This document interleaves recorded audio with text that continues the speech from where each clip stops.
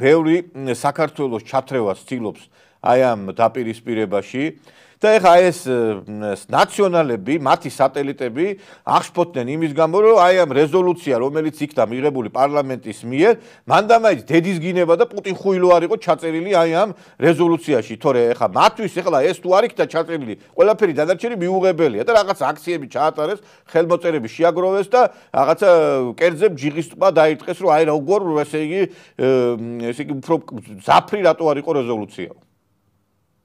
რასაც ვერ ბედავს ხელისუფლება აკეთებს თავად საზოგადოება უკრაინის შესახებ ოცნებისეული რეზოლუციის პროექტს, სადაც რუსეთი ნახსენებიც კი არა.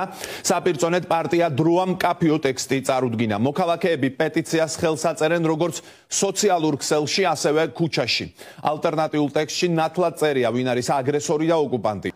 მარილს გვიყრიან მატორში რო არ შევარდეთ ნატოში, მაგრამ მე მგონი ეს გარდაუვალია. რუსეთი ეხლა მიიღებს საკადრის. სამოქალაქო საზოგადოებამ კარგად იცის რომ რუსეთის მხრიდან მოსალოდნელი ხელახალი აგრესია.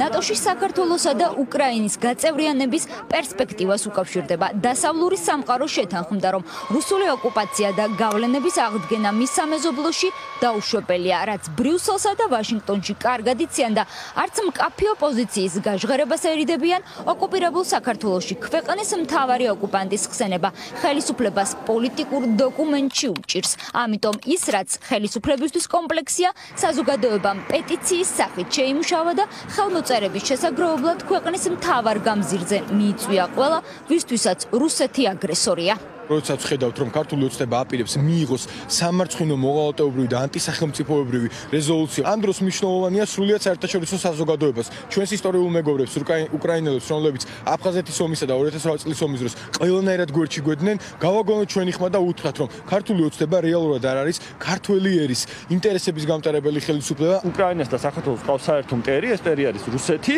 და მისი ართქმა ესე ვთქვათ არნაირად არც საქართველოს მდგომარეობაში ამსუბუქებს და არც უკრაინის და პირიქით ვთქვით, ამის დამალვა ერთადერთ რამეს ემსახურება და ამო შენს მტერს. რუსეთი დღეს რაც აკეთებს უკრაინაში, ეს ცდება მხოლოდ უკრაინის ტერიტორიას, ის პირდაპირ ემუქრება საქართველოს. პირდაპირ საუბრობენ, რომ საქართველოს სუვერენიტეტის ხელში ჩასაგდება და აკეთებენ მათ შორის ამას და რაც თავარია, მეორე მხარეს არის ძალიან კონსოლიდირებული დასავლეთი. ასეთი აქტიური და ერთიანი დასავლეთი არ ყოფილა ძალიან დიდი ხანი არის და ამ შავ და თეთრ სურათში ძალიან კაფიოდ უნდა იყოს სადგა საქართველოს. იცით, ეხა, როდესაც ჩვენ საუბრობთ აი ამ სიტუაციაზე, კოტე ყუბანეიშვილის და აი ამ ნაც ანასხლეტების გასარჩევი უნდა იყოს ახლა ჩვენი ქვეყნის ყოფა ცხოვრება.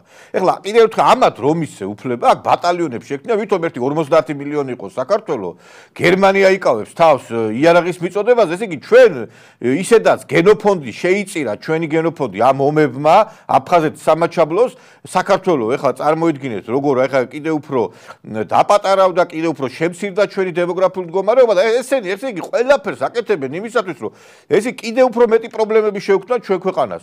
ქართველი ხალხი უნდა იდგეს, კიდე ერთხელ ვიმეორებ, საქართველოს სადარაჯოზე და როგორც ჩვენ ქვეყანას წაადგება, ისეთი გადაწყვეტილებები უნდა მივიღოთ.